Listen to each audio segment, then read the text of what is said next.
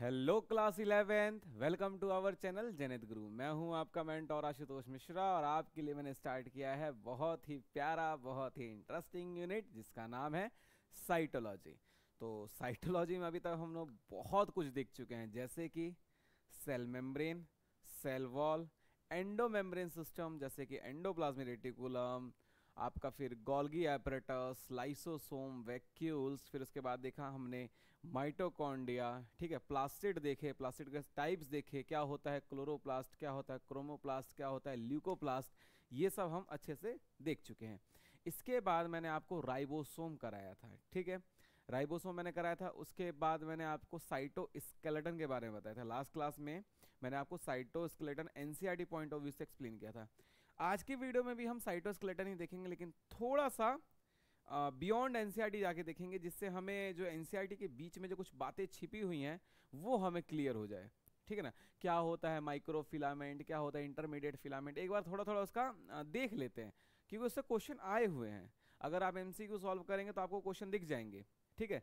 तो मेरे हिसाब से जो इंपॉर्टेंट लगा, वो मैं लिख के लाया हूँ। तो चलिए, देखते हैं। देखिए, क्या लिखा है? साइटोस्केलेटन की डेफिनेशन लिखिए it is a 3D network is found in cytoplasmic matrix very important it is a 3D structure कैसा है ये 3D स्ट्रक्चर है? 3D नेटवर्क है. स्ट्रक्चर नहीं 3D नेटवर्क है. फाउंड इन साइटोप्लाज्मिक मैट्रिक्स पहला पॉइंट क्लियर है साइटोप्लाज्म के मैट्रिक्स में पाया जाता है, ठीक है? एक 3D नेटवर्क जो कि साइटोप्लाज्म के मैट्रिक्स में पाया जाता है. नेक्स्ट क्या लिखा है? Also known as a micro microtubular lattice very important इसका दूसरा नाम क्या है? माइक्रोट्यूबुलर लेटिस चलिए, आगे देखते हैं। इसके तीन कंपोनेंट होते हैं माइक्रोटिब्यूल्स माइक्रोफिलामेंट और इंटरमीडिएट फिलामेंट ये मैंने लास्ट क्लास में ही बताया था माइक्रोटिब्यूल्स माइक्रोफिलामेंट और इंटरमीडिएट फिलामेंट ठीक है? पहला है माइक्रोटिब्यूल्स याद रखिएगा माइक्रोटिब्यूल्स जो है, वो ट्यूबिलीन प्रोटीन से मिलकर बना होता है, ये बताया था मैंने लास्ट क्लास में आपको।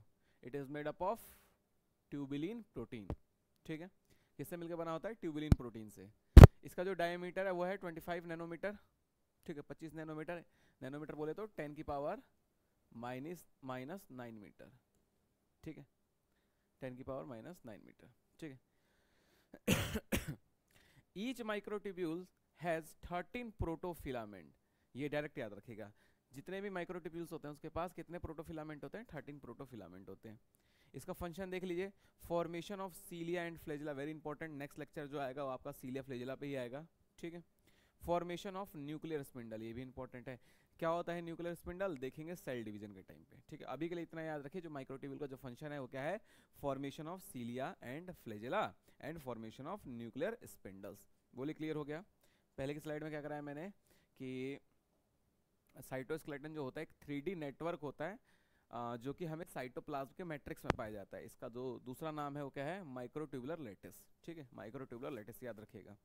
इसके बाद मैंने बताया इसके अंदर तीन कंपोनेंट होते हैं। एक को बोलते हैं हम लोग माइक्रोट्यूब्यूल्स दूसरे को बोलते हैं माइक्रोफिलामेंट और तीसरे को बोलते हैं इंटरमीडिएट फिलामेंट ठीक है? इसके बाद ये मैंने बता दिया आपको माइक्रोट्यूब्यूल्स के बारे में। डायमीटर याद रखिएगा डायमीटर कितना होता है इसका? 25 नैनोमीटर ठीक है? क्या होता है? 25 नैनोमीटर ठीक है? ईच माइक्रोट्यूब्यूल्स हर एक माइक्रोट्यूब्यूल्स के पास तेरह प्रोटोफिलामेंट होते हैं। और function formation of cilia and flagella and formation of nuclear spindle इतना क्लियर हो गया? इजी है यहाँ तक? चलिए, आगे देखिए। माइक्रोफिलामेंट ठीक है? It is made up of contractile protein actin and myosin मैंने लास्ट क्लास में बताया था आपको। जब आप लोग, वो एक मैकेनिज्म होता है, उसका नाम है स्लाइडिंग फिलामेंट थ्योरी ठीक है? आप लोग पढ़ेंगे, जब मसल कॉन्ट्रैक्शन पढ़ेंगे तो उसमें पढ़ाऊँगा मैं आपको। स्लाइडिंग फिलामेंट थ्योरी तो उसमें देखेंगे एक्टिन मायोसिन एक कॉन्ट्रेक्टाइल प्रोटीन होता है, जिसकी वजह से हमारा मसल कॉन्ट्रैक्ट करता है। ठीक है तो उस टाइम देखेंगे। अभी के लिए याद रखें, हमारे मसल कॉन्ट्रैक्शन के लिए दो प्रोटीन रिस्पॉन्सिबल होते हैं। इनका एक का नाम है एक्टिन एक का नाम है मायोसिन। ठीक है थिन कॉन्ट्रेक्टाइल प्रोटीन को एक्टिन बोलते हैं थिक कॉन्ट्रेक्टाइल प्रोटीन को मायोसिन बोलते हैं। पढ़िए made up of contractile protein it is known as a actin and myosin. Diameter इसका कितना है? सात नैनोमीटर कितना है? सात नैनोमीटर वो कितना था? पच्चीस नैनोमीटर इस, ये कितना है? सात नैनोमीटर फ़ंक्शन देखिए movement of plasma membrane plasma membrane के मूवमेंट में हेल्प करता है. Contraction of muscle fibre very important contraction of muscle fibre ठीक है? And third one is the chromosome movement during cell division chromosome movement during cell division cell division के time जो chromosome का जो movement होता है, उसमें भी ये माइक्रोफिलामेंट हेल्प करते हैं. आपको क्या याद रखना है? आपको क्या याद रखना है? मैं बताता हूँ. माइक्रोफिलामेंट ठीक है? इसके पास कौन से कॉन्ट्रेक्टाइल प्रोटीन होते हैं? क्या नाम होता है? नाम क्या है? एक्टिन और मायोसिन एक्टिन थिन होता है मायोसिन थिक होता है। ये किसमें हेल्प करता है? मसल कॉन्ट्रेक्शन में। साथ ही साथ क्रोमोजोम के मूवमेंट जब सेल डिवीज़न में क्रोमोजोम का जो मूवमेंट है, उसमें भी ये कॉन्ट्रेक्टाइल प्रोटीन हेल्प करते हैं। क्रोमोजोम के मूवमेंट ये हो गया मूवमेंट ऑफ़ प्लाज्मा मेम्ब्रेन ये भी याद रखिएगा movement of plasma membrane back चलते हैं एक बार। माइक्रोट्यूब्यूल उसका डायमीटर 25 नैनोमीटर फ़ंक्शन क्या है? Formation of nuclear spindle and formation of cilia and flagella ये क्लियर हो गया? दो क्लियर हो गए। लास्ट देखिए लास्ट में कुछ नहीं है। Last it is a intermediate filament it is a इसका फ़ंक्शन जो है मेंटेनेंस ऑफ़ साइटोस्केलेटन इसका जो साइज़ है, चाहे डायमीटर है, वो दोनों के बीच का है। मतलब कि माइक्रोट्यूब्यूल से कम होगा और माइक्रोफिलामेंट से ज़्यादा होगा। बीच का है। ठीक है? इसलिए तो इसका नाम इंटरमीडिएट फिलामेंट है। ठीक है? तो ये था आपका साइटोस्केलेटन के बारे में, जो थोड़ा सा मैंने एक दो पॉइंट ही एक्स्ट्रा लिखा है basically NCERT point of view से, ज़्यादा मैं बाहर नहीं गया हूँ।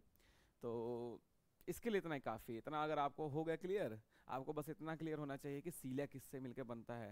आप डायरेक्ट क्या बोलेंगे? माइक्रोटिब्यूल से। ठीक है? नेक्स्ट लेक्चर जो आएगा वो सीलिया का है। ठीक है? तो आपको दिमाग में इतना रहना चाहिए कि जो सीलिया फ्लेजला जो है, वो किससे मिलकर बना होता है? माइक्रोटिब्यूल से। बस, इतना ही याद रखना है। फिर आपको नेक्स्ट लेक्चर समझ आ जाएगा। ठीक है? तो साइटोस्केलेटन के बारे में इतना था, मैंने एनसीईआरटी पॉइंट ऑफ़ व्यू से भी दिखाया था आपको, और ये थोड़ा सा बियॉन्ड एनसीईआरटी भी देख लिया हमने। तो जैसे एक कॉन्सेप्चुअल क्लैरिटी हो चुकी है हमारी इस टॉपिक को लेके, और एक ऑस्पेक्ट कवर कर लिया हमने एग्जामिनेशन पॉइंट ऑफ़ व्यू से, ठीक है? तो आज के लेक्चर के लिए इतना ही रखते हैं, मिलेंगे नेक्स्ट लेक्चर में, तब तक पढ़ते रहिए क्वेश्चन कीजिए और रिविज़न कीजिए तो ठीक है? तब तक के लिए धन्यवाद।